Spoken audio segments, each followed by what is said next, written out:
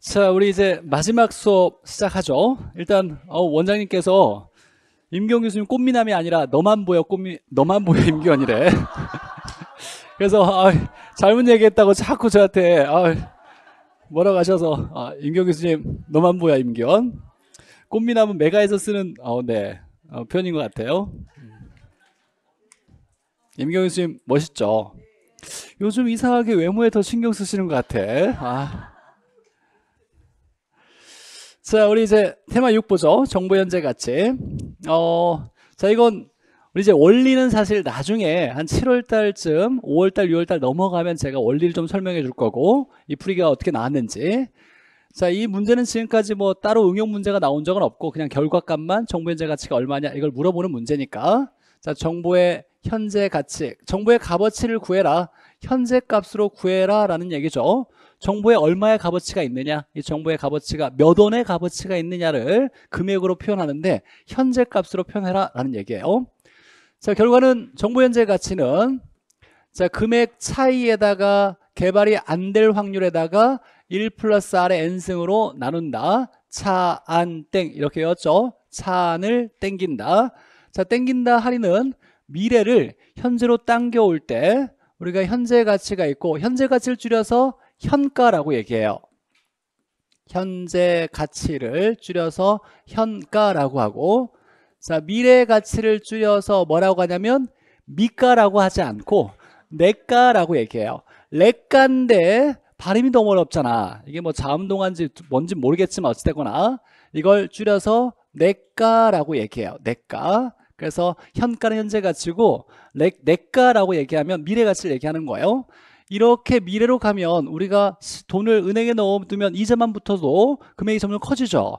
금액이 커지니까 이렇게 바꿔주는 과정을 키워주는 과정이다. 그래서 할증이라고 하고 미래 가치를 현재 값으로 당겨오면 이자가 그만큼 빠질 거예요. 그러니까 작아질 거니까 이걸 할인한다라고 얘기해요. 할인과 할증하는 방법은 우리 이제 계산식으로 했을 때 무조건 이자 계산이나 어떤 수익률을 반영해서 계산하는 건 복리 방식이에요. 이자에 이자가 또 붙고 그 이자에 또 이자가 붙는 방식. 복리 방식을 취했을 때 얘는 1 플러스 R의 N승을 곱해주는 건 할증이고 1 플러스 1 플러스 R의 N승을 곱해주면 할증이 되고 1 플러스 R의 N승을 나눠주면 할인이 되는 거예요. 이때 R은 수익률이나 이자율을 얘기하는데 이때 퍼센트가 없는 수익률, 없는 수익률이나 이자율을 할인율을 대입시키면 된다. 이건 좀 투자론을 배워야 좀 더 해석할 수 있으니까 제시된 것만 그대로 갖다 쓰면 되는 거예요. 자, 근데 말 문제를 한번 잠깐만 좀 고민해 보죠. 우리 뭐 시간이 좀 늦어지고 있긴 한데. 자, 정보 현재 가치래요. 이 말 뜻을 보면 정보를 통해서 값어치가 있다는 건 정보를 통해서 얻을 수 있는 뭘 얘기하냐면 초과 이윤을 얘기하는 거예요. 내가 이 정보를 알고 있음으로 인해서 야, 이 정보를 알고 있으면 내가 1억에 돈을 벌 수 있다. 초과 이윤은 1억을 얻을 수 있다를 얘기하는 거예요. 그래서 이 현재 값으로 봤을 때 정보의 가치는 정보를 통해서 얻을 수 있는 초과 이윤이에요. 그럼 초과 이윤이 정보 값어치가 만약에 1억 원이 나왔어요. 이걸 계산해 보니까 1억 원. 그럼 얘는 초과 이윤이 있다는 거죠. 정보를 통해서 얻을 수 있는 초과 이윤이 얼마? 1억 원이라는 얘기죠. 그럼 얘는 할당률적 시장이에요? 아니에요? 이다 아니다? 아니다. 할당률적 시장은 초과인이 있어야 돼요? 없어야 돼요? 없어야 돼요.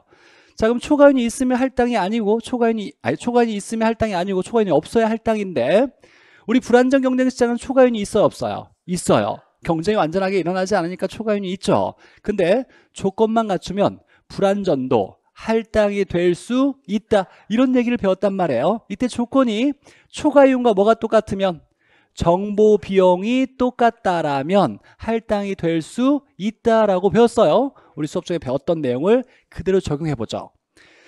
자 보니까 정보를 통한 초과 이윤을 뭐라고 하냐면 이걸 정보의 값어치 이걸 정보의 현재 값어치라고 얘기하는 거예요 자, 그러면 여기까지만 보면 이건 할당이 될 수 없어요. 초과이윤이 있으니까. 근데 만약에 이렇게 정보의 초과이윤이 정보 값어치가 1억 원이 나왔는데 이 조건이 이 시장은 할당 효율적 시장이야 이렇게 조건이 나왔어요. 그럼 이 초과이윤이 사라져야죠.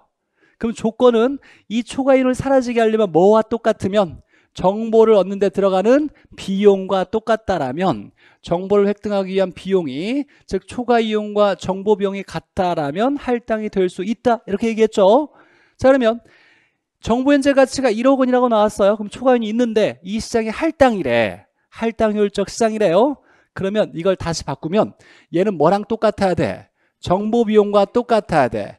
그럼 문제에서 출제자가 묻기에 우리 배웠던 걸 가지고 확인할 때 야 이걸 정보 현재 가치가 아니라 이 시장은 할당 효율적 시장인데 정보의 현재 비용이 얼마야? 이렇게 물어볼 수도 있어요. 아직 안 나왔던 유형이지만 이렇게 나올 수 있다는 거예요. 우리가 배웠던 걸로 확인한다면 그러면 할당 효율적 시장이라면 정보 현재 가치와 뭐가 정보 비용이 같다라고 날 수 있는 거예요. 그러니까 문제에서 이 시장이 할당 효율적 시장이고 똑같은 문제가 주어졌어요. 예를 들면 이런 문제예요. 이렇게 주어졌는데 얘가 지금 정보 현재 가치라고 나왔잖아요. 근데 이렇게 나오지 않고 야 이 시장은 할당 효율적 시장이야. 그래서 현재 값으로 현재 값어치로 현재 가치로 정보 비용이 얼마야 이렇게 물어본다는 말이나 얘 말은 어떤 말이에요? 같은 말이야. 즉 정보 현재 가치나 정보 비용이 같다라고 얘기할 수 있다는 거예요. 뭐일 때? 할당이라면 이라는 거죠. 그렇게 배웠던 게 말 문제로 나온다라면 우리가 해석할 수 있어야 되고 계산 문제로 그 배웠던 내용이 알고 있느냐라고 확인한다라면 이 문제를 정보 현재 가치가 아니라 정보 비용의 현재 값어치가 얼마야 이렇게 물어볼 수도 있다는 얘기예요. 이거 하나 이해하고 넘어가고 자, 이 내용이 중요해요. 우리 시험 문제에서 건들지 않고 있다가 33회, 32회 때부터 이 내용을 자꾸 건들고 있어요. 그러니까 불안정 경쟁 시장도 할당이 될 수 있어. 언제? 초과 이윤과 정보 비용이 같다라면 근데 정보를 통해서 얻는 초과 이윤은 뭐라고 얘기하냐면 정보의 현재 값어치라고 얘기하는 거예요. 그러니까 결국 할당이라면 정보 현재 값어치와 정보 비용이 같다라고 얘기할 수 있으니까 이걸 묻는 거 대신에 얘를 물어볼 수도 있다는 거야. 할당이라고 주고서 이렇게 하나 해석하고 자 그럼 이제 차한 땡을 쓸 건데 정보 현재 가치는 금액 차이에다가 개발이 안 될 확률에다가 땡긴다. 1 플러스 R의 N승으로 나눠준다 라는 얘기였죠. 이때 R은 퍼센트가 없는 수익률인데 이렇게 주어진 거예요. 자, 요구 수익률이 뭔지는 아직 모르지만 공부하신 분들은 좀 알 거고. 자 수익률이 연 10%가 나왔어요. 근데 우리가 이거 계산할 때는 결국은 몇 원 이렇게 나와야 돼요. 퍼센트가 있으면 돼 안 돼? 안 돼요. 그러니까 퍼센트가 없는 비율을 써줘야 되니까 자 이 10%를 R 값으로 바꾸면 얼마라고 해야 된다? 0.1이라고 해야 돼. 퍼센트를 떨어져 줘야 돼요. 그럼 1 플러스, 1 플러스 R은 얼마? 1.1 이렇게 써야죠. 이 N승은 몇 년 당겨올 거냐? 할인하는 연수를 얘기하는 거예요. 할인하는 연수. 자 그럼 보니까 이 문제에서는 1년 후에 1년 후에 이렇게 나왔으니까 몇 년 당겨줘야 돼요? 1년. 그럼 1승 써주면 되겠네요. 자 이건 금액 차이를 얘기하는 거예요. 금액 차이. 자 그럼 보죠 이제. 우리가 아까 공 6개를 떼고 볼 수 있어야 된다 그랬어요. 빠르게. 8억 8천이면 공 6개 면 얼마? 880 공 6개. 이렇게 돼야 돼요. 자 6억 6천이면 660, 06개 이렇게 돼야죠. 자 그러면 얘와 얘의 차이를 얘기하는 거예요. 차이 얼마? 220. 자 그러면 계산해 보죠. 자 그러면 차 한 땡을 쓸 때 금액 차이는 220이고 자 들어설 가능성이니까 개발될 확률이죠. 그러면 개발이 안 될 확률은 얼마? 확률은 60%인데 역시 마찬가지로 몇 원이 나와야 되니까 퍼센트 있는 거 없는 거 없는 걸 써줘야 돼요 그러니까 얼마로 쓴다? 0.6으로 써줘야 되겠네요 그다음 여기다가 0.6 안 될 확률 개발 안 될 확률 자 1 플러스 R인데 R은 0.1이니까 1 플러스 R은 얼마? 1.1 자 몇 년을 당겨야 된다? 1년 이렇게 쓰면 계산기에 220 곱하기 0.6 나누기 1.1 한 번 하면 되겠네요. 그럼 값이 얼마? 120 이렇게 120원 이렇게 나올 거예요. 콩 6개 있으니까 얼마? 1억 2천만 원 이렇게 1억 2천만 원 계산하면 되겠죠. 자, 정부 현재 가치는 무조건 그냥 나오면 보너스 문제. 이거 틀리면 또 큰일 나요. 무조건 차 한 땡으로. 이게 좀 더 응용돼서 나올 가능성이 있는 여지가 있는 부분은 이거 자, 정보 비용을 물어볼 수 있다라는 거. 이건 할당이란 조건만 있다라면 초과 이윤이라는 정보의 가치와 정보 비용은 똑같다라고 전제할 수 있으니까 물어볼 때 이걸 정보 비용이 얼마냐 이렇게 물어보면 또 사람들이 풀 수 있는 문제 중에 반절은 나가 떨어질 거예요. 정보 비용이라고 물어볼 수도 있다. 자, 보죠. 이 문제. 자, 29회도 나왔고 33회 나왔고 계속 나왔어요. 말 문제로도 계속 나오고 있고 29회 문제 한번 보죠. 자, 이 문제는 어마어마하게 많이 틀렸어요. 사람들이 시험장에서 거의 못 풀었어요. 이거 맞은 사람들이 20, 30%밖에 안 돼요. 연습을 많이 했음에도 이렇게 가장 쉬운 유형인데도 왜 그랬는지 한번 보죠. 29회. 자, 정보 현재 값을 구해라. 그러면 금액 차이에다가 개발이 안 될 확률에다가 1 플러스 R의 N승으로 땡긴다라는 거죠. 자, 보니까 요구 수익률 할인율은 10% 나왔다고 했어요. 그럼 퍼센트가 없는 R은 얼마? 0.1이겠죠. 0.1 쓰면 되고. 자, 개발될 가능성이 50%니까 안 될 확률, 개발 안 될 확률도 얼마? 50%. 자, 50%니까 얘도 0.5라고 써주면 되겠네요. 자, 금액이 개발되면 이렇게 나왔고 개발 안 되면 이렇게 나왔어요. 자, 그럼 공 6개를 떼고 봐야죠. 자, 6억 500만 원 얼마예요? 650이야, 605야? 605라고 해야 돼요. 6억 5천만 원이라면 650인데 얘를 어렵게 낸 거예요. 다른 응용될 문제 내용이 없다 보니까 금액을 여러 개 좀 어렵게 표현하려고 내고 있는 거예요. 6억 5천만 원이 아니라 6억 500만 원이죠. 그럼 얘는 얼마? 605에다가 공 6개 이렇게 있어야 되는 거예요. 자, 얘도 보죠. 자, 개발되지 않으면 3억 250만 원이라고 나왔어요. 3억 2,500만 원이 아니라 3억 250만 원이래요. 그럼 얘는 얼마로 써야 될까요? 302.5라고 해야 돼요. 공 6개가 여기서부터 시작되는 거예요. 302.5라고 써야 되고 얘는 605라고 써야 되는 게 이 문제의 난이도를 높였던 문제 유형이었던 거예요. 금액을 잘 봐야 되는 거예요. 이제 출제자가 보니까 33에 보니까 이제 오야 더좀더 좀 더 어렵게 보이려고 이제 10억 단위까지 이렇게 내고 있는 거예요. 10억 단위까지 여기 보니까 자 그래서 금액을 좀 더 키워가지고 어렵게 보이려고 하고 있어요. 자 그럼 이제 계산해 보죠. 자 금액 차이는 605 빼기 302.5니까 하면 얼마? 302.5 나와요. 딱 빼면 302.5예요. 두 배 값이에요. 예. 자 개발될 확률이 50%니까 안 될 확률은 50%니까 곱하기 얼마? 0.5 자, R은 0.1이니까 1 플러스 R은 얼마? 1.1. 자, 몇 년을 당겨야 된다? 2년이죠. 2년 후에 어쩌고 어쩌고 2년 후에 어쩌고 저쩌고 나오니까 2년을 당겨줘야 된다. 2승 이렇게 써주면 되겠네요. 그럼 계산기에다가 302.5 곱하기 0.5 나누기 1.1 나누기 1.1 이렇게 하면 얼마 나오냐면 1억 2,500 1억 2,500, 125 이렇게 이렇게 나왔대요. 125원. 공 6개 있으니까 1억 2,500만 원 이렇게 나오겠죠. 계산기. 자, 그래서 어려운 문제는 없지만 이 문제의 포인트는 금액을 야, 이게 뭐가 어려워 라고 하지만 여러분이 막상 시험장에 가면 그냥 별것도 아닌 것도 막 떨리고 긴장되고 막 그래요. 머리 사고도 잘 안 돌아가요. 이때 뭔가를 생각해서 풀려고 생각하면 안 돼요. 정말로 강심장이나 멘탈이 강한 사람들 얼마든지 그럴 수 있어요. 내 능력치가 100이면 100 그대로 풀어낼 수 있지만 일반적인 사람들은 그러지 못해요. 100을 공부하지만 시험장에 풀어내는 건 70, 80도 풀어내지 못하는 경우가 많아요, 사실. 그런 걸 항상 대비하면서 연습해야 돼요. 그래서 알겠지만 좀 더 한번 다시 해보고 다시 해보고 해보면서 실수를 줄여 나가야 돼요. 그래서 마음속에 자신감이 있어야 실제 시험장에서 풀어낼 수 있는 거예요. 내가 공부한 걸 항상 100%다 끄집어내서 시험장에서 풀고 오지 못해요. 그것도 항상 감안해야 돼요. 내가 진짜 강심장이 아니라면 어 그래서 우리가 모의고사 연습을 많이 해야 돼 안 해야 돼? 해야 돼요. 1년에 한 번뿐이 없는 시험이다 보니까 그 시험장의 환경과 비슷한 걸 우리가 계속 연습을 해봐서 내성을 키워야 돼. 아, 이럴 수도 있고 저럴 수도 있으니까 난 이때 이렇게도 풀어야 되고 주의해야 되겠네. 이런 것들을 계속 경험을 해서 시행착오를 줄여나가서 이제 1년에 한 번 있는 내년 10월 26일 날 딱 멋진 날 합격하는 날로 딱 만들어야 돼요. 33에 나왔던 문제 보죠.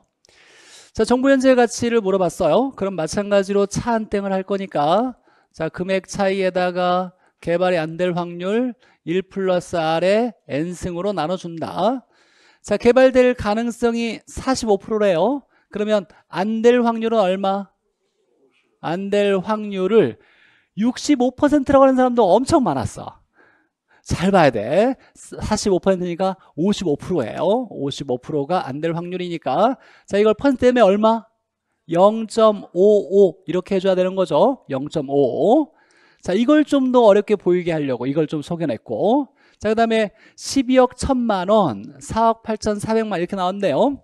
자, 10을 빼면 2억 1천만 원이잖아요. 그럼 210이죠. 근데 10억이 있으니까 얘는 얼마?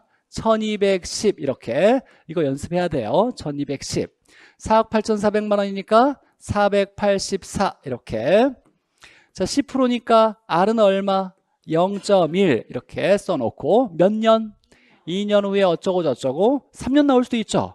현재까지 2년만 나왔지만 3년 나올 수 있으니까 좀 주의해서 풀어보면 자 금액 차이 1210 빼기 484 하면 726 이렇게 나올 거예요. 726 나오고 개발이 안 될 확률은 55%니까 0.55 집어넣고 자 1 플러스 R이니까 1.1에 몇 승? 2승. 그래서 726 곱하기 0.55 나누기 1.1을 두 번 하면 값이 나오겠죠? 330원 이렇게 나올 거예요. 공 6개 있을 거니까 3억 3천만 원 이렇게 나오는 거죠. 자 그러면 얘가 나오면 3억 3천 맞아요? 얘가 나오면 무조건 맞아야 되겠죠 그냥 주어진 조건만 좀 꼼꼼히 잘 확인해서 차한 땡에 대입만 하면 나오는 거죠 다만 이 시장이 할당효율적 시장이다라고 조건에서 나왔어요. 그럴 때 정보 현재 가치 대신에 정보 비용의 현재 값은 현재 가치가 얼마냐라고 물어본다라면 똑같이 차한 땡으로 물어볼 수 있더라 풀어낼 수 있더라 이 내용이에에 이게 우리가 배웠던 내용에 연결지어서 응용 문제로 나올 수 있는 거고 여기서 이제 응용이 하나 나올 수 있는 것들이 있긴 한데 그건 이제 수업 중에 좀 더 제가 1, 2월 달이나 3, 4월 달에 좀 가르쳐 드릴 거예요 자, 테마 9는 일단 패스. 오늘 시간이 어, 제가 욕심내가지고 이것도 좀 가르쳐주고 싶은 마음이 있었어요. 어, 기본적으로 좀 원리가 많이 적용된 것들이라. 근데 일단은 패스해보죠. 오늘 수업은 2시 반을 목표로 하고 자, 기대 수익률 보죠. 기대 수익률. 자, 수익률을 계산하는데 기대 수익률이라고 그랬어요. 기대한다. 다른 말로 뭐라고 하냐면 예상한다라는 거죠.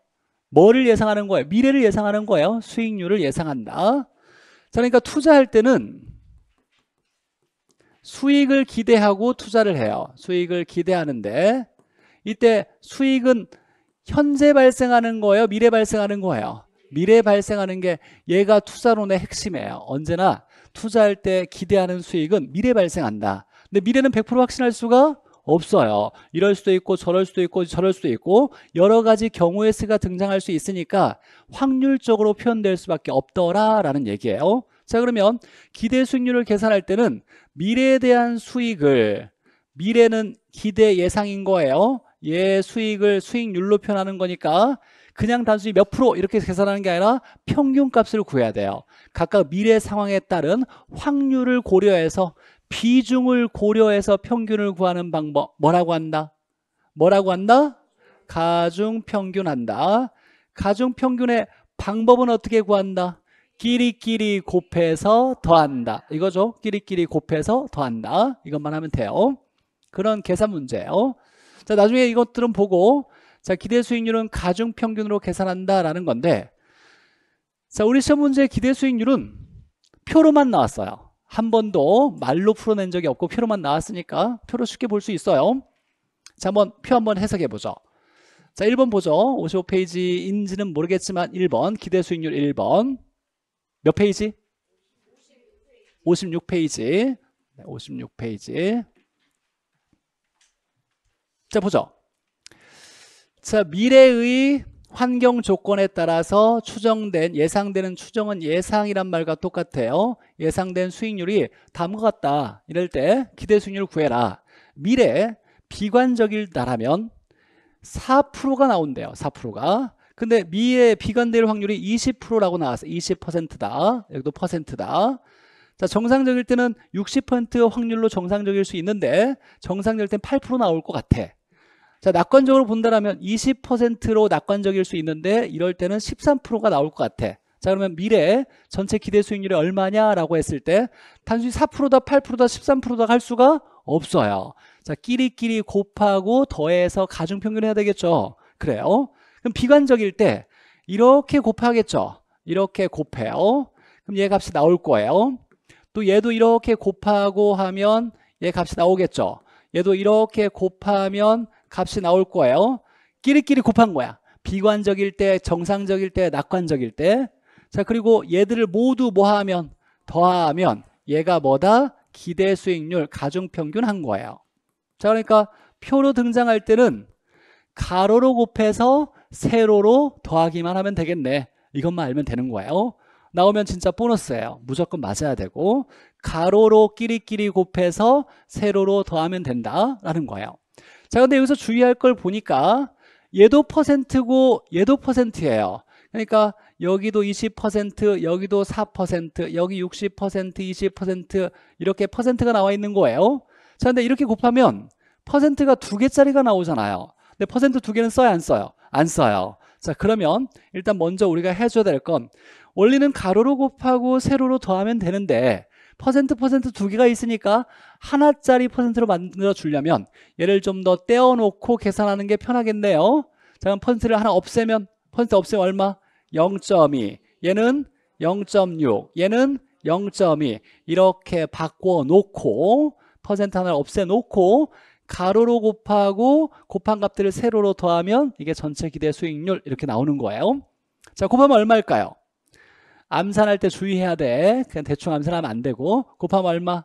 0.8% 이렇게 나오는 거고 얘 곱하면 6, 8에 48이니까 4.8% 자, 얘 곱하면 이 0.2 곱하기 1.3이니까 2.6 암산 안 되면 계산기를 써야 된다. 네. 자, 이렇게 곱해서 이렇게 나왔어요. 전체를 더하면 쭉 더하면 얼마냐면 8이 16이니까 쭉 계산이 8.2 어, 8.2%가 나오겠네요. 이게 이제 전체 기대 수익률 어렵지 않네요. 기대 수익률 구해라. 가중평균하고 표로 제시됐을 때 가로로 다 곱하고 세로로 더하면 되겠네.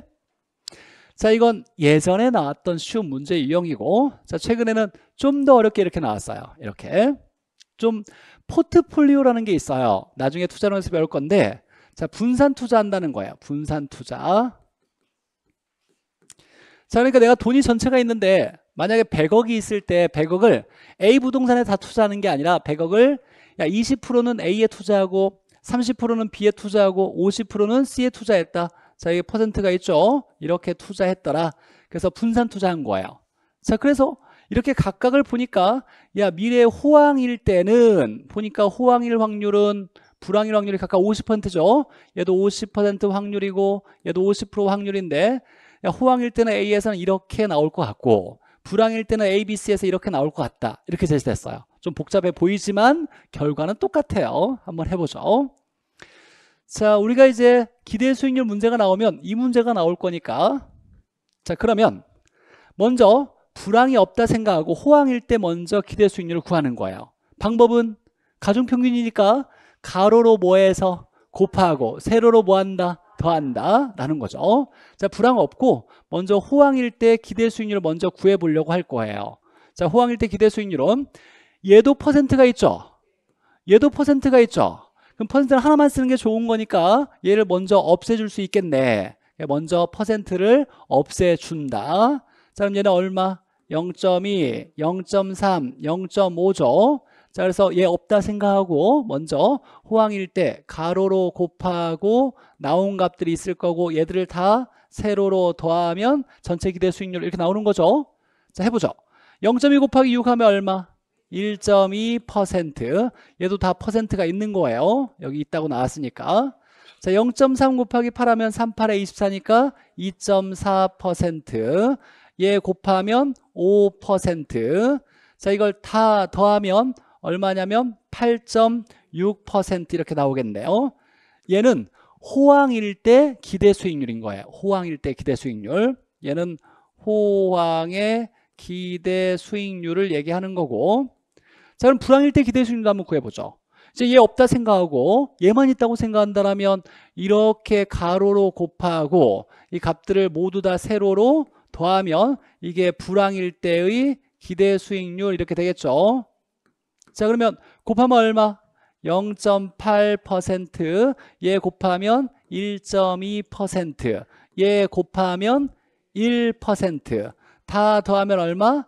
3% 이렇게 되겠네요. 자 그럼 이렇게 됐죠? 그럼 그냥 더할 거냐라고 한번 생각해보죠. 불황일 때, 호황일 때 8.6 이렇게 3 나왔어요. 자 근데 미래 상황은 100% 호황이에요. 100% 호황이면 8.6이라 할 수 있어요. 그럼 100% 불황이야? 100% 불황이면 3%라 할 수 있어요. 근데 문제에서 보니까 야 호황일 확률은 50% 불황일 확률은 50% 얘도 50%될 것 같고 얘도 50%될 것 같대요. 그러면 우리는 한 번 더 가중평균 해야 되는 거예요. 그렇겠죠? 자 이미 퍼센트가 있어요. 자 그러면 호황일 확률이 각각 50%씩이니까 여기 얼마 곱해야 돼? 0.5를 곱하고 여기도 얼마? 0.5를 곱해서 한 번 더 끼리끼리 곱한 다음에 더해주면 얘가 전체 기대 수익률 이렇게 나오는 거예요. 자 그러면 곱하면 얼마? 곱하면 얼마 나오겠죠? 해보죠. 나중에 GT라는 걸 설명해 줄 거예요. 근데 이런 계산기의 기능에 의존하면 안 돼요. 한 번 풀 때 꼼꼼하게 한 번, 한 번으로 딱 정확하게 값이 나와야 되는 거니까 8.6 곱하기 0.6 하면 8.6 곱하기 0.5 하면 얼마? 4.3 4.3%에다가 3 곱하기 0.5니까 1.5%에다가 더하면 5.8% 이렇게 나오겠네요. 전체 기대 수익률은 5.8 이렇게 나오는 거예요. 5.8. 자, 그러니까 우리 시험 문제에서 이런 간단한 문제지만 적어도 그냥 이렇게 쉬운 문제로 나오진 않아요. 가중평균 몇 번 하는 거예요? 세 번. 이렇게 한 번, 또 이렇게 한 번 했고 마지막에 한 번 더 이렇게 가중평균 했죠? 가중평균 세 번은 해야 값을 구할 수 있는 문제가 우리 시험에서 나올 수 있으니까 여기까지 대비해야 돼요. 자 결론은 기대 수익률은 가로로 곱하고 세로로 더하기만 하면 되겠네 라는 거예요. 끼리끼리 곱해서 더한다 이거예요. 자 조금 응용 문제가 나왔어요. 뭐 응용이라고 하기는 좀 못하지만 이런 문제가 30회에 나왔네요. 자 이때부터 뭔가 응용 문제를 내려고 출제자가 어, 의도하고 있다는 모습이 막 보이기 있어요. 보이고 있었어요. 30회부터. 자 기대 수익률 8%라고 한다. 기대 수익률을 8%라고 줬어요. 기대 수익률을 구해라가 아니라 기대 수익률이 8% 이렇게 나왔어 라고 나왔어요. 여기에 표현될 필요도 없는데 표에다가 집어넣었어. 왜 그랬을까? 그냥 어렵게 보이려고. 어 전가 나왔던 뭐 표가 좀 달라 보이네. 이런 느낌이었던 거예요. 어 이런 표로 그냥 나와야 되는데 여기 뭔가 하나를 더 집어넣었어. 어렵게 보이려고 자꾸 어, 뭔가 좀 이상한 짓을 하는 거예요. 어쨌거나 전체 기대 수익률은 8%가 나왔는데 얘가 얼마가 되어야 얘가 8% 나오겠느냐라고 물어본 거예요. 뭐 간단하죠. 너나 간단하지 라고 하지 말고 해보죠. 자, 얘는 뭐 호황불황 이렇게 포트폴리오 기대 수익률은 아니니까 한 번만 하면 되는데 얘도 퍼센트가 나왔고 얘도 퍼센트가 나왔어요. 그럼 한 번 퍼센트를 떨어져 주는 게 좋겠죠. 그럼 얘는 얼마? 0.2, 얘는 0.4, 얘는 0.4 이렇게 떨어졌어요. 그럼 가로로 곱해서 값이 나올 거고 얘들을 모두 더하면 전체 기대 수익률이 나오겠죠. 전체 얼마? 8%가 나와야 된다는 얘기예요. 자 그러면 곱하면 얘 곱하면 얼마? 0.8% 얘는 모르니까 그냥 네모라고 하죠. 네모 모른다. 얘 곱하면 얼마? 4% 이걸 모두 더했더니 8%가 나왔대요. 자 그러면 네모는 얼마 들어가야 돼요? 이건 뭐 더하기 빼기니까 계산할 수 있죠. 얼마? 3.2%가 나와야 되는데 이 3.2는 얘와 얘를 뭐 해야 돼? 곱해야 얘가 나온다는 거예요. 그럼 0.4 우리 x라는 거 쓰잖아요. 미지수.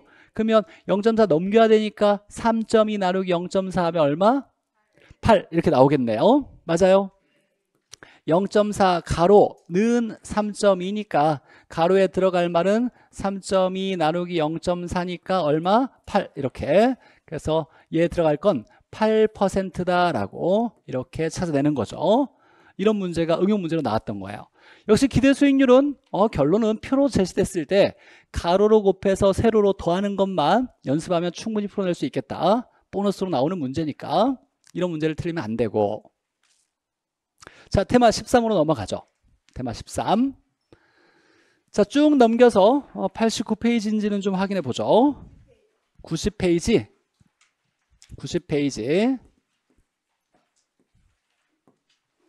어제 거의 그냥 오랜 시간 동안 이거 작업하느라고 고생했는데 좀 아쉬움이 있네요.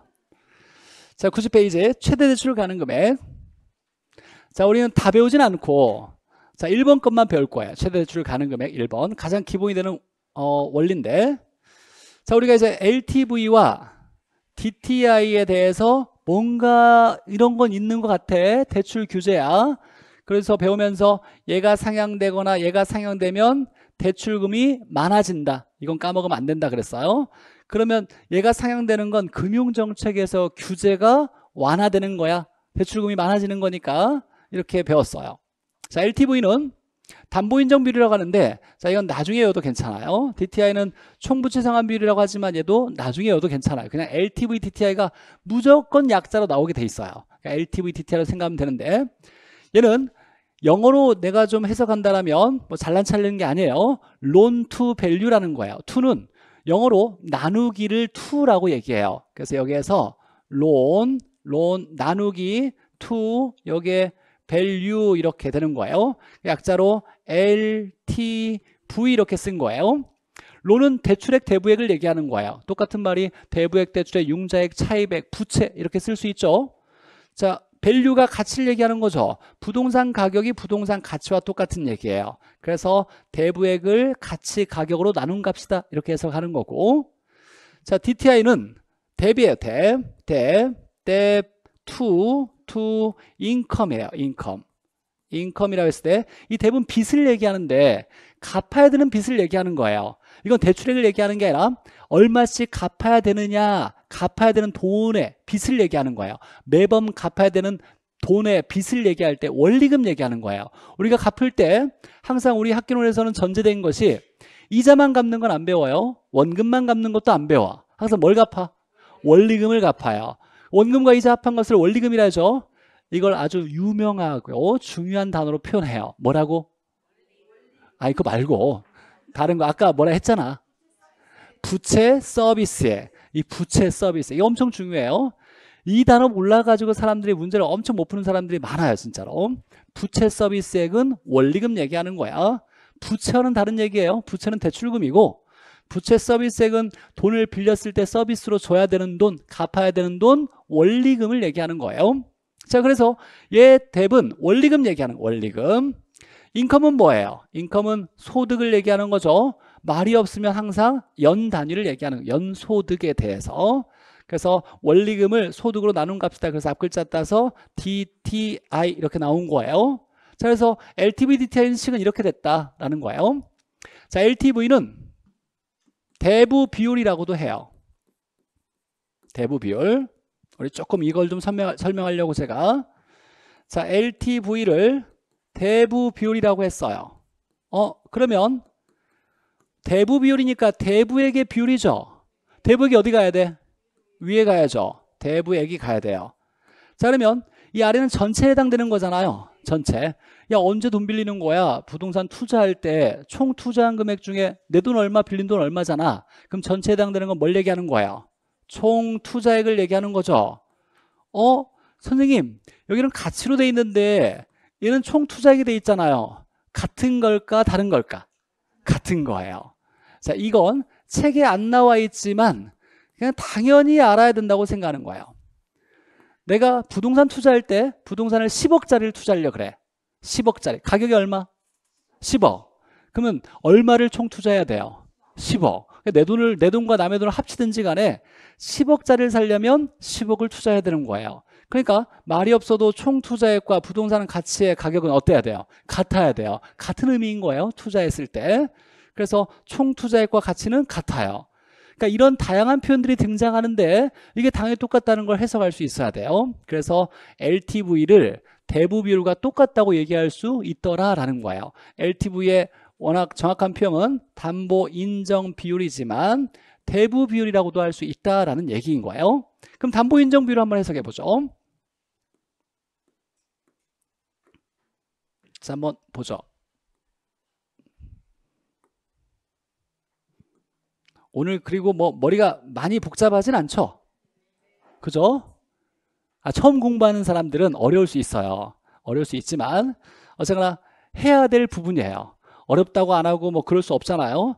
이건 계산 문제 중에 그렇다고 어려운 내용도 아니에요. 가장 기본적이고 핵심이 되는 내용이니까 무조건 다 알아야 돼요. 이것도 모르고 더 어려운 문제 풀 수 없어요. 이건 모르면 계산 문제 못 푼다고 생각해야 돼요. 아 물론 자신감을 갖기 위해서 내가 열심히 했지만 뭐 내가 뭐 그냥 모든 사람 다 이해시킬 수 있는 완벽한 신 같은 사람은 아니잖아요. 자기 스스로가 좀 부족하다라면 복습해야 돼요. 집에 가서 다시 한번 오늘이 가기 전에 집에 가서 좀 더 투자해가지고 복습하고 어, 이 계산 문제 특강은 기초 계산 문제 특강은 교재를 사면 열어주기로 돼 있어요.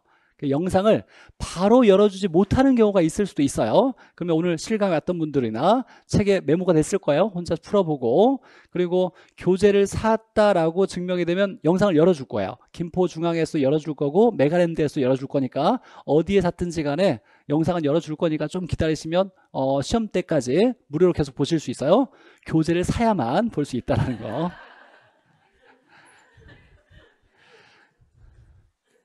LTV 보죠.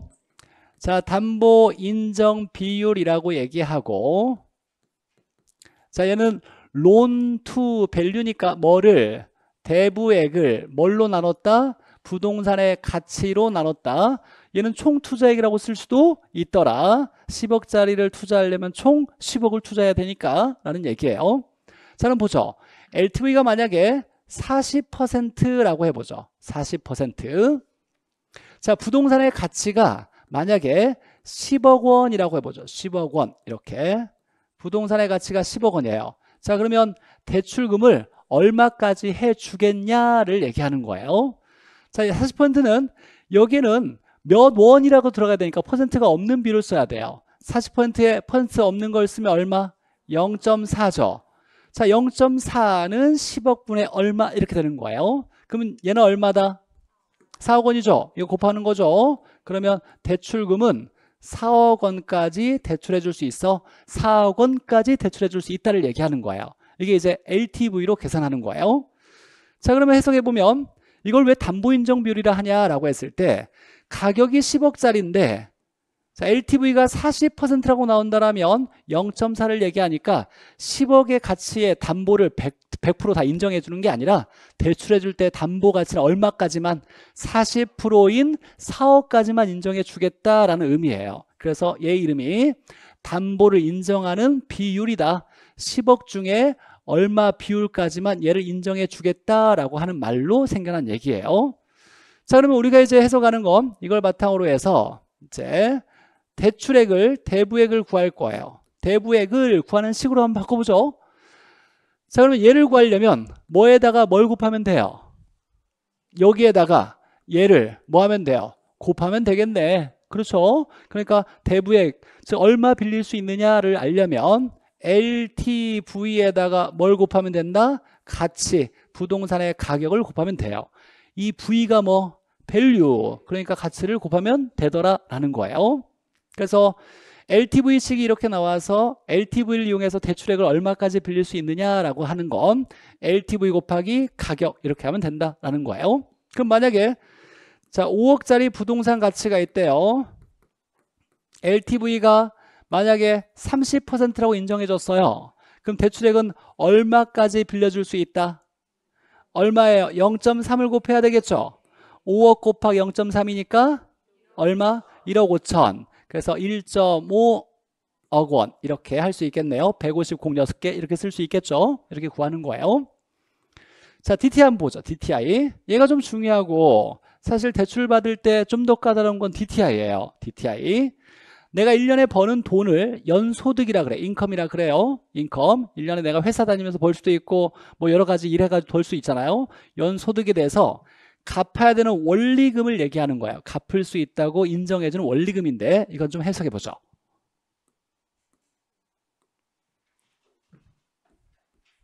자, DTI는 총부채 상환 비율이고 여기에 연소득에 대해서 소득에 대해서 여기에 원리금인데 이 원리금은 상환할 수 있는 원리금이에요. 상환할 수 있는 원리금을 얘기하는 거예요. 이걸 누가 인정해 줄 거냐면 은행에서 인정해 주는 거예요. 은행에서 인정하는 인정하는 상환하는 원리금을 얘기하는 거예요. 자, 이게 이제 어떤 얘기인지 한번 해석해 보죠. 만약에 DTI가 40%라고 이렇게 나왔어요. DTI가 40%다. 그럼 얘는 0.4를 얘기하는 거죠. 근데 내가 대출을 받으려고 했더니 은행에서 야 연소득을 증명해. 증명해. 얼마 버는데 그래서 소득증명원을 가져오래요. 그래서 내가 소득증명원을 1억 원짜리를 가져갔어요. 1년에 1억 원을 번다. 연소득이 1년에 1억 원이에요. 1억 원. 자 그럼 여기에서 이제 우리가 계산할 수 있는 건 뭘 계산할 수 있어요? 원리금을 계산할 수 있죠. 자 그러면 얘와 얘를 곱하면 되겠네요. 곱하면 원리금은 얼마 나온다? 0.4 곱하기 엔 100이니까 100원이라면 곱하면 40원이죠. 공 6개 있으니까 얼마? 4천만 원 이렇게 되겠죠. 4천만 원 이렇게 써보죠. 이 4천만 원은 뭐냐면 은행에서 너는 1년에 4천만 원 갚을 수 있다고 인정해 줄게. 그러니까 4천만 원 갚을 수 있을 만큼만 내가 돈 빌려줄게 라고 얘기하는 거예요. 4천만 원 갚을 수 있다라고 인정해 줄 테니까 자 이것만큼의 대출액을 해, 계산해서 해줄게 라는 거예요. 근데 얘는 아직 대출금이 아니죠. 원리금이죠. 원리금을 얘기하는 거예요. 여기서 우리 학계론에서 이제 앞으로 수없이 등장하게 될 아주 중요한 식이 있어요. 얘는 원리금인데 자 말이 없으면 원리금을 똑같이 갚는 방식으로 전제되고 있어요. 원리금 균등 방식인데 이건 나중에 살짝 공부한 다음에 배울 거예요. 어쨌거나 원리금을 대출액으로 대출액 대부액으로 바꿔치기 하려고 할 수가 있는데 얘를 예로 바꿔치기 하려면 뭔가를 계산해 주는데 저당상수라는 게 사용돼요. 저당상수를 나누어 주면 얘가 얘로 바뀌어요. 이거 엄청나게 중요한 식이에요. 대출액을 원리금으로 바꿔주려고 할 때는 저당상수를 뭐 해줘야 돼? 곱해주면 되는 거예요. 자 그러면 이 식을 절대로 까먹으면 안 돼요. 이건 이제 뭐 투자론이든 금융론이든 계속 감정평가까지 따라다닐 수 있는 식이에요. 그럼 식을 한번 써보죠. 자 원리금에다가 뭘 나눠주면 저당상수를 나눠주면 뭐가 나온다? 대출금이 나온다라는 얘기고 다시 반대로 해석하면 대출금에다가 뭘 곱해주면 저당상수를 곱해주면 뭐가 나온다? 원리금이 나온다. 이 식이 엄청나게 중요한 식이에요. 원리금을 대출액으로 바꿔줄 때 대출액을 원리금으로 바꿔줄 때 저당상수라는 게 사용돼요. 저당상수 가장 중요한 상수 중에 하나예요. 우리 학계론에서 등장하는 식 중에서 자 그래서 원리금과 대출액을 왔다 갔다 전환시켜주는 건 저당상수가 그 역할을 해주고 대출액을 원리금을 바꿔줄 때는 저당상수를 곱해줄 거고 원리금을 저, 원리금을 대출로 바꿀 때는 저당상수를 나눠줄 거예요. 자 그래서 만약에 여기서 이런 뭐 이자를 얼마 기간을 얼마로 했을 때 만약에 저당 상수가 0.1이다 라고 얘기했어요 0.1이라고 제시됐다라면 얘는 원리금을 얘기하는 거잖아요 맞죠? 원리금을 얘기하는 거죠 얘를 얼마 대출액으로 해줄 수 있을까라고 바꿔주려면 원리금을 대출로 바꾸려면 저당선을 뭐 해준다? 나눠준다 0.1로 나눠줘야 돼요 그럼 4천 나누기 0.1이니까 얼마? 4억 원이겠죠. 어 그러면 4억 원까지 빌려줄게 라고 얘기하는 거예요. 이게 이제 DTI로 대출액을 계산하는 방법인 거예요. 어, 좀 어렵긴 하지만 너무너무 중요해서 물론 처음 공부하시는 분들은 갑자기 저당 상수를 왜 나왔고 이거 언제 쓰는 거야 이건 또 뭔지 모르겠다라고 좀 복잡할 수 있겠지만 차차 수업 중에 굉장히 중요하다고 다 배울 내용들이에요. 곧 배울 거니까 어, 재생들은 당연히 알아야 돼요. 당연히 이렇게 외웠던 이렇게 외웠던 뭔가를 외웠을 거예요. 자, 이거 언제 배웠을까요? 대출액을 원리금으로 바꿀 때 내가 대출했을 때 매년 상환해야 되는 원리금, 원리금 균등 방식에서 얘로 바꿔주려고 할 때 사용되는 자본하는 개수 뭐? 저당 상수 이런 거 배웠잖아요. 이때뿐만 아니라 계속 금융론에 쓸 거니까 어찌되거나 자 그럼 만약에 얘가 60%로 상향됐다고 해보죠. 이렇게 상향됐대요. 그럼 얘가 0.6이죠. 그럼 얘가 1억 원이니까 1억 원이고 그럼 얘가 원리금 은행에서 갚을 수 있다고 인정하는 원리금 얼마 나온다? 6천만 원이 나오고 얘를 대출액으로 바꿔줄 때 저당상수를 나눠주더라. 저당상수가 만약 0.1이라면 얼마? 6억 원까지 대출해주더라 라는 얘기죠. 자 그러니까 DTI가 상향되면 대출금이 어때지는 거예요? 많아지는 거예요. DTI도 마찬가지예요. DTI가 0.4, 얘가 60%라면 얘가 0.6이니까 10억 중에 얼마까지 담보 인정해 주겠다. 6억 원까지 인정해 주겠다라고 얘기하는 거니까 상향되면 대출금이 더 많아지는 거예요. 자, 이제 결론은 됐고. 자, 그래서 LTV DTI를 배웠어요. LTV는 일단 중요하게 말 문제로 나오는 문제는 아주 간단하게.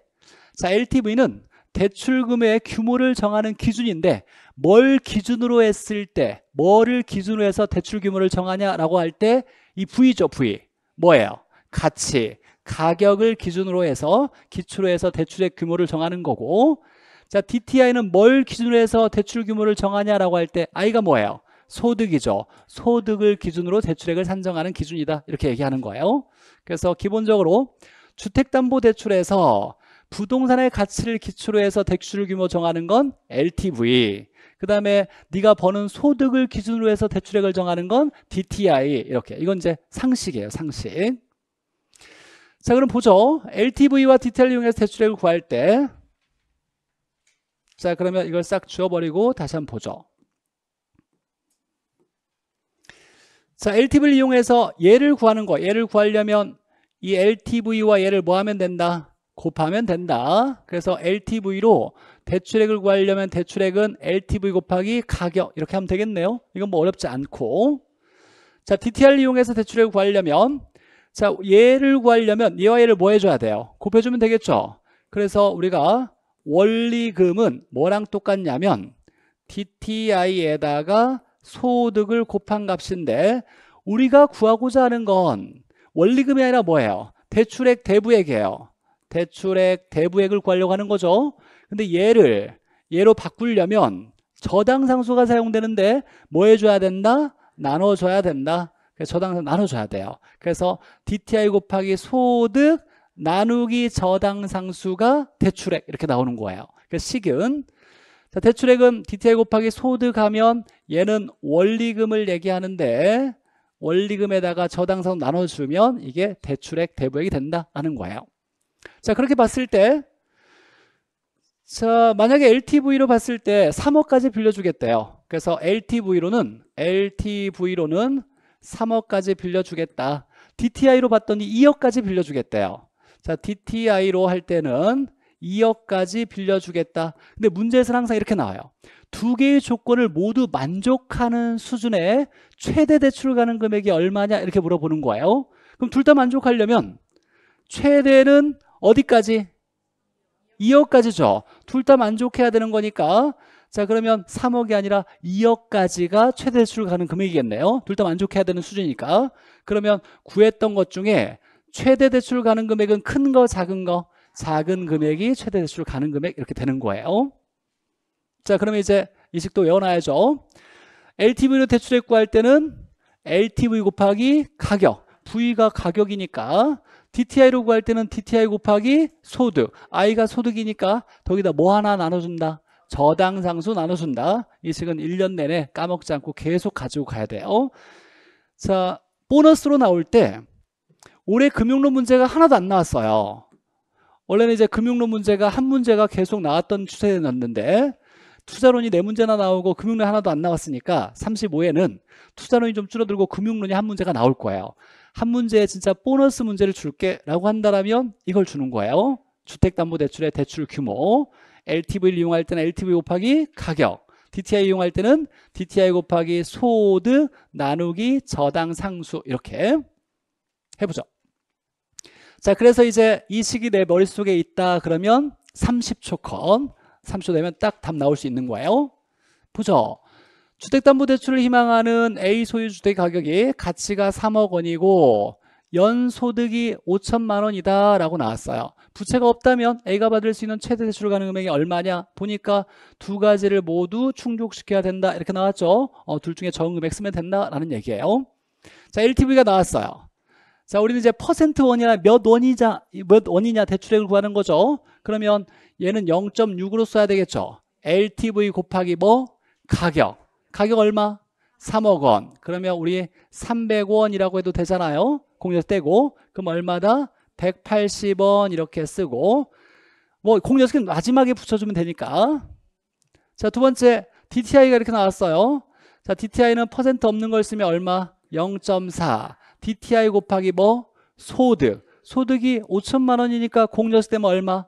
50자 여기에다가 뭘 나눠준다 저당 상수 얼마나 0.1이라고 나왔네요. 0.1 그럼 계산하면 20이고 0.1이니까 얼마? 200원. 이렇게 되겠네요. 그러면 적은 금액이죠? 최대는 얼마? 1억 8천. 180원인데 공 6개 있을 거니까 1억 8천만 원. 이렇게 되는 거죠. 그래서 답은 1억 8천만 원이에요. 어렵지 않죠? 연습하면 금방 해요. 다시 한번 보죠. 또 28에 나왔던 문제 보죠 자 이렇게 나왔을 때 자, 이 문제의 이제 포인트는 뭐냐면 자, 이미 이미 은행에서 7천만 원을 대출받은 상태다라고 나왔어요. 이미 7천 대출받은 상태다. 그래서 추가로 더 빌릴 수 있는 게 얼마냐라고 물어봤어요. 최대 대출 가능 금액을 구하는데 추가로 더 빌릴 수 있는 게 얼마냐 이렇게 물어봤어요. 자, LTV 먼저 보죠. LTV가 50%니까 0.5 곱하기 뭐 가격. 가격 얼마? 5억 원. 그러면 500원이니까 계산하면 250원 이렇게 되겠네요. 자, DTI가 나왔으니까 0.4 DTI 곱하기 소득 얼마? 60원에다가 나누기 뭐 저당 상수 0.1 이렇게 하면 얼마냐면 240원 이렇게 나온대요. 그럼 적은 금액이니까 어떤 거? 240원. 공 6개 있으니까 2억 4천 만 원인데 최대 출금액이 2억 4천만 원인데 7천만 원을 빌려서 더 빌릴 수 있는 걸 물어봤죠. 그럼 2억 4천 빌릴 수 있는데 이미 7천 빌렸으니까 더 빌릴 수 있는 건 1억 7천만 원 이렇게 되겠네요. 답은 1억 7천만 원. 자, 4번 보죠. 31에 나왔던 문제 보면 자, 소득이 5천만 원이고 가치가 3억 원인 주택을 소유하고 있다. 자, 여기도 마찬가지로 5천만 원을 대출받고 있을 때 이미 5천만 원을 빌리고 있대요. 그러니까 추가로 라고 물어봤죠. 그러니까 답 나왔다고 흥분하지 말고 항상 추가로 있는지를 꼭 확인해 봐야 된다. 이런 거 실수에 틀리면 너무 억울하잖아요. 자, 보죠. LTV가 50%니까 0.5 곱하기 뭐? 가격. 가치 얼마? 3억 원, 300원이라고 봤을 때 얘는 150원까지 빌릴 수 있더라. 자, DTA가 40%니까 0.4 곱하기 소득 얼마? 5천만 원 50원.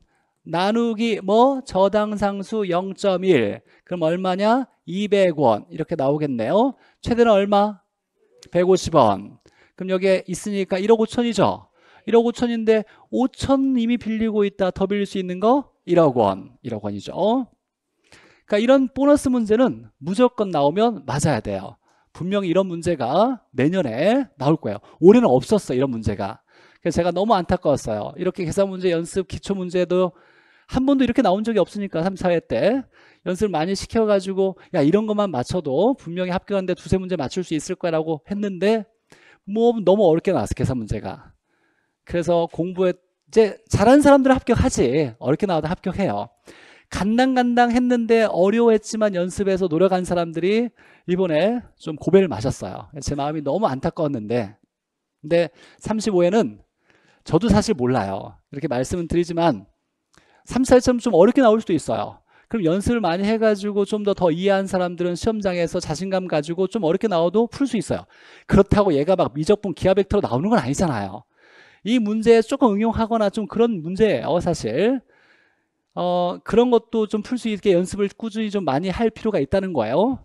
저도 뭐 어떻게 나올지 모르겠지만 그래도 예상은 35에는 이런 기본적인 문제가 적어도 두세 문제는 나올 거니까 그렇게 나올 때 꼭 풀어내서 합격하셔야 된다. 출제는 분명히 야 계산 문제 연습해도 다 틀려 뭐 풀어 이렇게 생각하고 있을 거예요 아마 그렇게 생각하고 있을 거니까 35에 문제 출제할 때는 말 문제를 좀 더 어렵게 내려고 분명히 고민할 거예요 자 마지막 보죠 테마 15 입지계수. 자 얘는 이제 간단하죠. 얘는 이제 계산기 누르는 손가락만 있으면 된다. 뭐 어렵지 않게 풀 거고. 자 입지계수 보죠. 입지계수. 자 A 지역에 X 산업의 입지계수 LQ라고 하는데 얘를 구할 때 얘도 비율의 일종이에요. 입지계수도 비율을 얘기하는 거예요. 자, 그럼 이제 A 지역의 비율을 얘기하니까 우리가 뭐의 비율 나오면 앞에 있는 게 분자로 간다, 분모로 간다? 분자로. 그래서 A 지역이 어디로 가야 돼요? 위로 가야 돼요.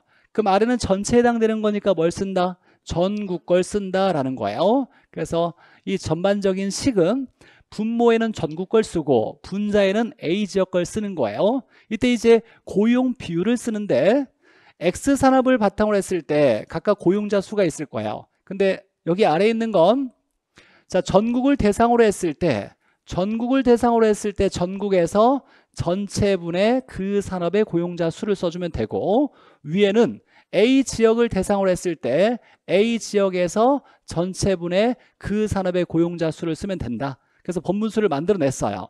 법문수를 만들어내면 그 다음은 이제 계산기만 누르면 되죠. 만약에 A분의 P 이렇게 있고 C분의 T 있다라면 맨 위와 아래를 뭐 한다? 곱한다. 그리고 가운데 값은 모두 다 나눠준다. 그래서 D 곱하기 A. A 곱하기 T도 똑같아요.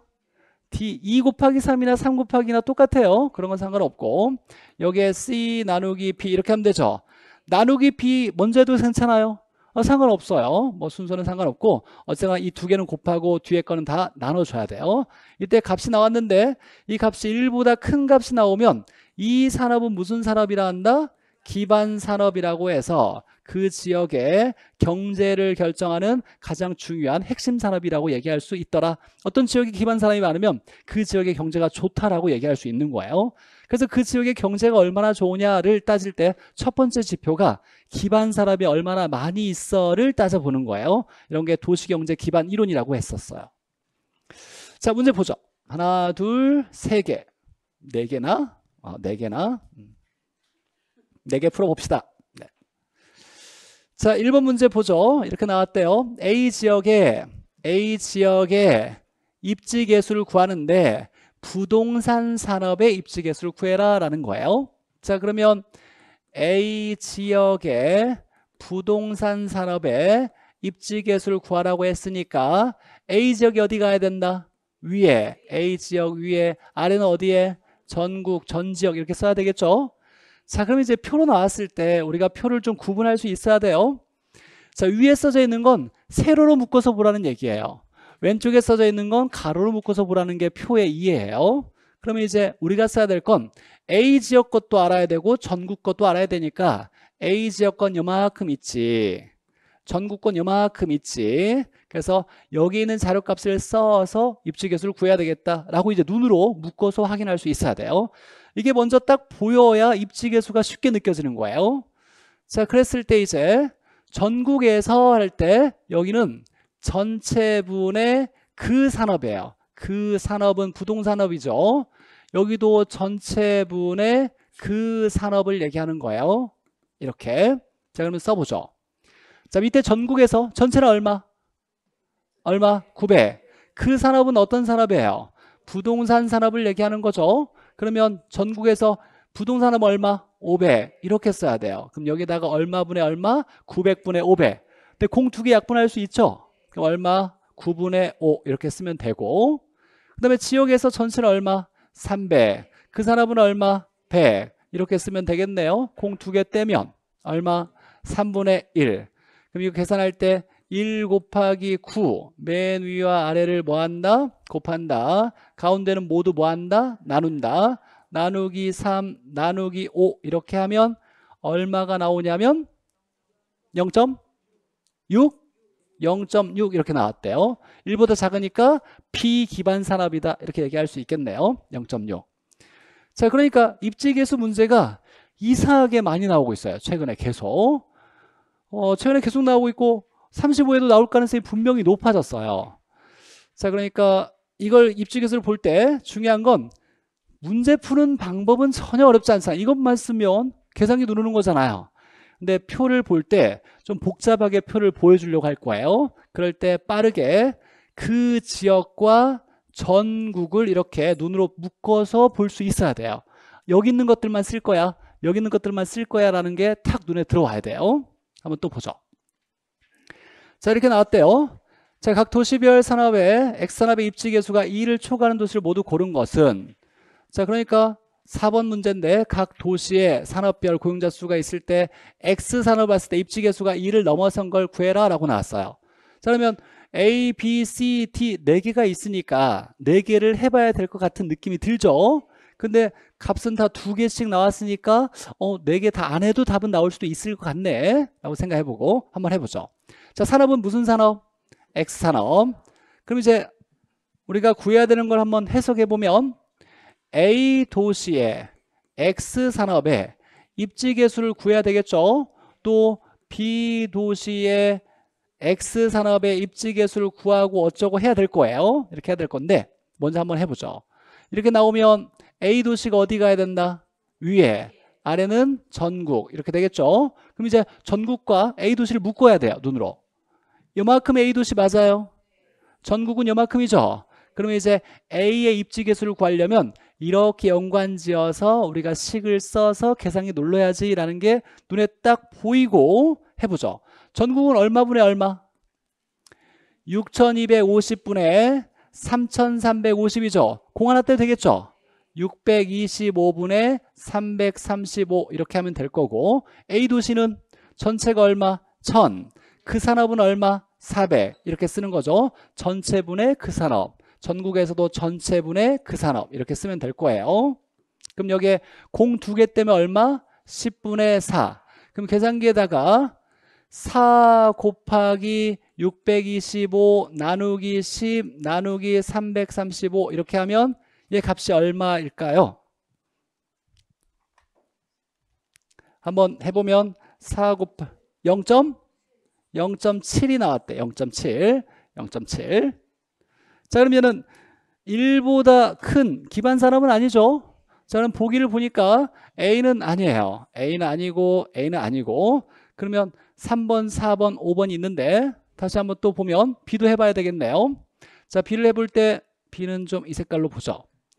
역시 마찬가지로 전국분의 B 도시 이렇게 써야 되고 전국은 6 2, 5분의 3, 3, 5 그대로 쓰면 되겠죠. 예분의 예니까 B권은 예분의 예 이렇게 쓰면 되겠네요. B도시가 이렇게 있으니까. 맞아요? 자 그러면 공 두 개 때문에 얼마? 20분의 12 이렇게 쓰면 자 계산기에 12 곱하기 625 나누기 20 나누기 335 하면 1.12 이렇게 나왔대요. 어 그럼 얘는 1보다 크네요. 그럼 얘는 들어가야 되겠네. 얘는 답은 아니고 그럼 이제 C와 D 중에 하나만 하면 되겠네 여기까지가 가장 입지 개수를 많이 구했던 문제예요 27에 나왔던 문제가 그럼 이제 C도 한번 해보죠 C 도시의 X 산업의 입지 개수를 구하려면 전국은 똑같죠 625분의 335 이렇게 될 거고 자 C 도시는 예분의 전체분의 그 산업이니까 공 하나 떼면 115분의 65 이렇게 계산하면 따다다다 누르면 1.05 이렇게 나왔대요. 아 그럼 얘도 1보다 크니까 얘도 기반 산업이다 라고 해서 답은 3번 이렇게 끝냈던 문제예요. 3개까지만 구하면 됐었다라는 거죠. 야 근데 이런 문제는 이렇게 풀지 않아도 괜찮잖아 라고 할 수도 있어요. 무슨 얘기냐면 이제 이 연습을 많이 하면 야 결론적으로는 어 그러네 라고 할 수 있는 부분이 뭐냐면 자 얘는 입지 개수가 1보다 큰 값을 갖는 걸 찾아라 라고 했죠 그럼 여기에 있는 분모 값이 있고 여기 분자 값이 있을 때 얘가 얘보다 크다라면 1보다 큰 값이겠죠? 얘보다 작다라면 1보다 작은 값일 거고 그러니까 전국은 다 똑같이 쓸 거란 말이에요. 그러니까 625분의 335 값을 계산해 보니까 분모에 있는 값 335 나누기 335 나누기 625 하면 0.536이 나와요. 그러니까 얘 값은 얘 값은 0.536이에요. 그럼 1보다 큰 값이냐를 따지려면 여기 있는 값이 0.536보다 크냐 작냐만 따지면 되잖아요. 그럼 A 건 뭘 봐야 돼? 1000분의 4 스펙 이렇게 보면 되겠죠. 얘는 0.536보다 커 작아. 0.4니까 작죠. 얘는 아니야. 그럼 얘는 2000분의 1200 쓰겠죠. 얘를 보니까 0.536보다 커. 120 나누기 200 이렇게 하면 되잖아요. 12 나누기 20 하면 그러면 얘는 맞겠네. 얘도 1150분의 650 하면 얘도 0.536보다 커. 그러니까 어 얘도 맞겠네. 1보다 크겠네. 얘는 21분의 11이죠. 그러면 11 나누기 21 하면 0.523이 나와. 536보다 커요, 작아요? 작아. 그럼 얘는 1보다 작겠네. 이렇게 푸는 방법도 있어요. 이런 방법을 터득하려면 문제를 많이 풀 수밖에 없어요. 이게 이제 수학 능력이라는 거고. 근데 이렇게 하지 않아도 사실 우리는 우리 공인중개사 시험은 사실 이렇게 기본적인 것만 풀어도 사고를 요하지 않아도 충분히 합격할 수 있는 문제들이 분명히 있을 거니까 자, 많이 풀어서 혹시 이런 문제가 비슷하게 나온다라면 어, 그렇게 풀 수 있는 방법도 있겠다라고 제가 수업 계획 차원에서 설명해 드린 거고 하나만 더 합시다. 하나만. 자, 얘도 한번 보죠. 최근에 나왔던 거 32회에 나왔던 거 한번 보죠. 어, 얘도 보니까 좀 재수없게 생겼어요. 일단 입지 개수는 마음이 좀 불편해. 뭔가 좀 복잡해 보여. 그죠? 뭔가 또 귀찮아 보여. 계산하는 게. 그래도 하셔야 돼요. 연습하셔야 돼. 빨리빨리 할 수 있는 방법들을 좀 찾아내야 돼요. 자, 이 문제를 보죠. 마지막 32에 나왔던 거. 자, A 지역과 B 지역에서 입지 개수가 입지 개수에 따른 기반 산업의 개수는 기반 산업은 1보다 큰 값을 가져야 기반 산업이 되겠죠. 자, A 지역과 B 지역의 모든 산업을 다 따져 보래요. 그러면 얘도 구해봐야 되고 얘도 얘는 구해줘야 얘도 얘도 얘도 다 알아야 입지 개수를 알아야 되는 거예요. 우리 입지 개수를 구하는 거지 이 자료값을 쓰는 건 아니죠. 이 자료값은 그냥 어렵게 보이려고 여기다가 집어넣은 거예요. 이런 건 쓸 건 아니에요. 다만 얘는 나왔어. 입지 개수가 얘도 나왔어. 근데 얘는 1보다 작죠. 그러니까 얘는 기반 산업이 아니에요. 얘도 1보다 작죠. 얘는 기반 산업이 아니에요. 그러니까 4개를 구해봐서 얘가 1보다 큰 값이 몇 개가 있는지를 찾아봐라 라고 얘기하는 거예요.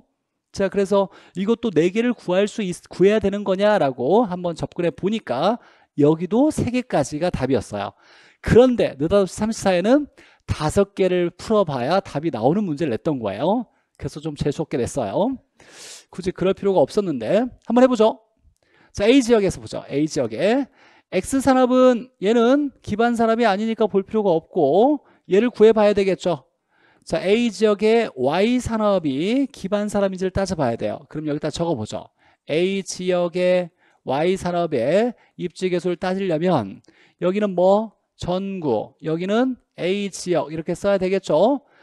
전국은 전 지역이고 A 지역은 A 지역이잖아요. 이렇게 묶어서 A 지역 거의 입지 개수를 찾아야 돼요. 자, 그러면 봤을 때 자, 전국에서 전체 분의 그 산업인데 산업은 Y 산업을 물어봤잖아요. Y 산업. Y 산업 걸 먼저 예를 한번 풀어보면 전국에서 전체는 얼마?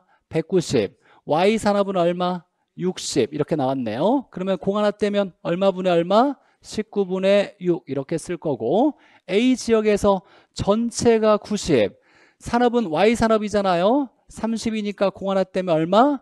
9분의 3 이렇게 적어놓고 계산기에다가 3 곱하기 19 나누기 9 나누기 6 하면 얘가 1보다 큰 값이 나타날 거예요 1.05 이렇게 나왔대 1.05 그럼 얘는 기반 산업이 맞네 얘는 맞고 자 그리고 또 A 지역의 Z산업도 구해봐야죠 A 지역의 Z 산업의 입지 개수를 구하려면 역시 전국과 A 지역을 써야 되는데 이제 Z 산업을 대상으로 해야죠. Z 산업. 그러면 전국에서는 전체분의 그 산업이니까 얼마? 19분의 5 이렇게 쓰면 되겠네요. 여기에 19분의 5. A 지역에서는 그 산업이 전체분의 그 산업이니까 얼마? 9분의 3. 9분의 3. 9분의 3 이렇게. 그럼 계산기에 누르면 3 1.26 이렇게 나왔대요. 1.26. 어, 얘도 기반 산업이 맞네. 그럼 얘도 맞고 얘도 맞고. 일단 A 지역은 몇 개? 두 개.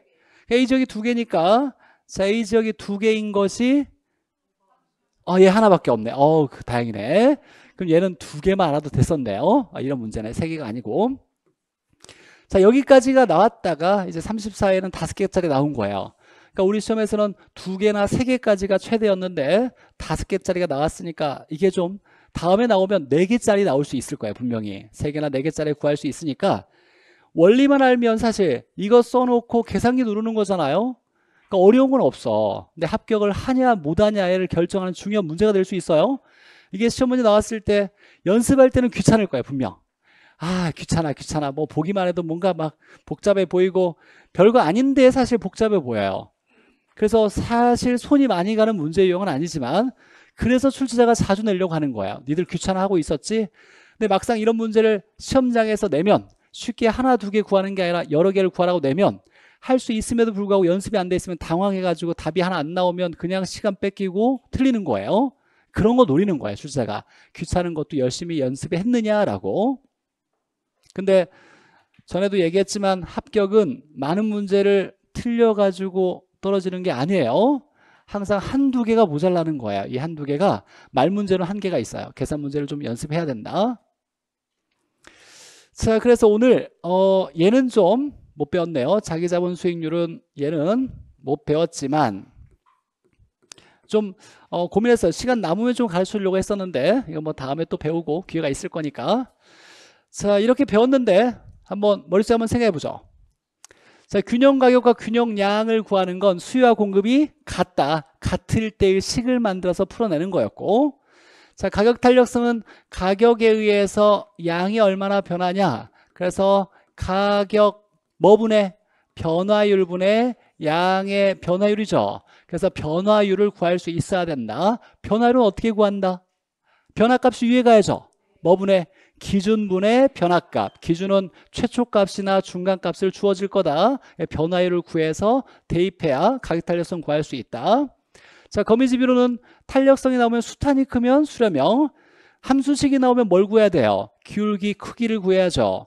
기울기 크기는 P의 개수분의 Q의 개수에서 기울기 크기 구해서 공급의 기울기 크기가 크면 수렴형. 그래서 수탄 공기가 탁 나와야 돼요. 수탄이 크거나 공기가 크면 수렴형이다 라는 게 나와야 되고 자 소멸력 법칙과 확률 모형을 계산하려면 첫 번째는 유인력을 각각 구해야 되고 두 번째 그걸 바탕으로 비율을 구해서 비율에다가 전체 소비자 수를 곱하면 대로는 소비자 수를 계산할 수 있다. 이게 머릿속에 탁 떠올라야 되고 자 정부 현재 가치가 물어보면 차 안 땡이죠. 금액 차이 개발 안 될 확률을 1 플러스 r n승으로 나누더라. 이게 떠올라야 되고 자 기대 수익률은 가중평균이니까 표로 제시됐을 때 가로로 다 곱하고 세로로 더해서 나오는 값이 기대 수익률 이렇게 나오는 거죠. 가중평균.